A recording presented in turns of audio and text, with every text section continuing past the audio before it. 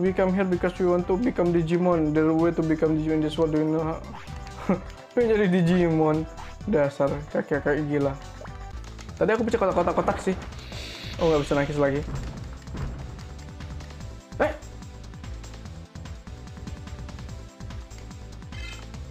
Asem sekali serang udah mati langsung.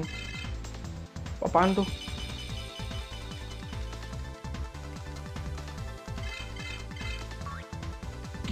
Kok udah mati aja?